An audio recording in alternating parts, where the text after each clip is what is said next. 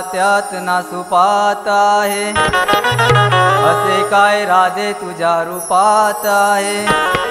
तू आतूनही काळी अन बाहेरूनही काळी मत्सर तुझ्या नसा नसा जरी मी दिसलो साधा बोळा तरी मी राजा गोकुळचा आहे. वाकड्या पेंद्याला दाखव तुझा नखरा. माझा झोळा मोळा करणार आहे.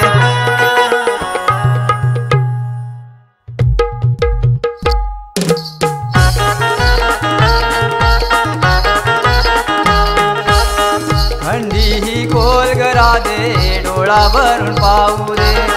हंडी ही खोल गरा दे डोळा भरून पाहू दे. तुझा गमालाची चर्चा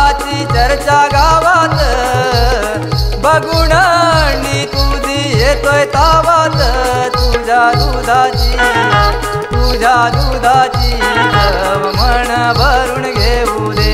तुझ्या दुधाची चव मन भरून घेऊ दे. दुधाची चव मन भरून घेऊ दे. तुझ्या दुधाची चव मन भरून घेऊ दे. हंडी खोल करा दे डोळा भरून पाहू दे. हंडी खोल करा दे डोळा भरून पाहू दे.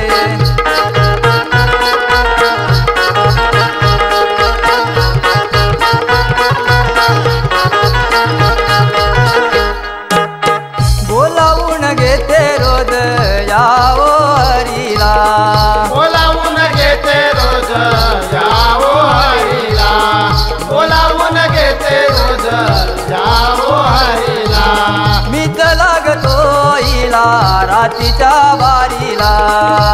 लागतो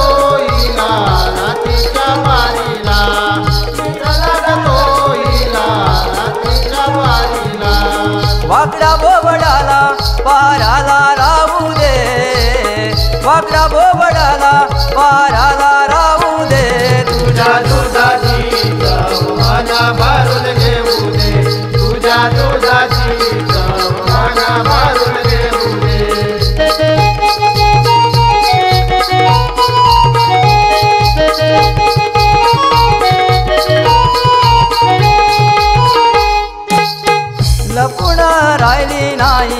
तुझी माझी बात. राहिले नाही तुझी माझी बात. लपून राहिले नाही तुझी माझी बात. ओ बाटा झाला साऱ्या उभ्या गावात. ओ बाटा झाला साऱ्या उभ्या गावात. ओ बाटा झाला साऱ्या उभ्या गावात. दोष देणारा ना दोष किती किती देऊ दे. तुझ्या दुधाची मना भरून घेऊ दे. तुझ्या दुधाची मना भरून घेऊ दे. हंडी गोल करा दे डोळा भरून पाहू दे. हंडी गोल करा दे डोळा भरून पाहू दे. तुझ्या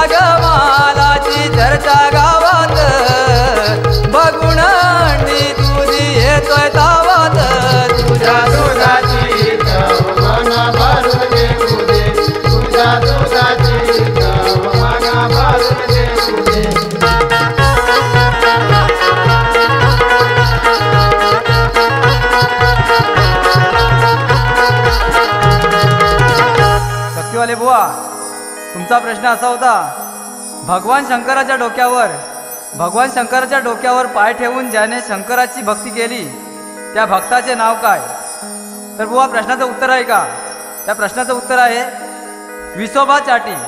हे तुमच्या प्रश्नाचं उत्तर आहे. आता माझा प्रश्न आहे का?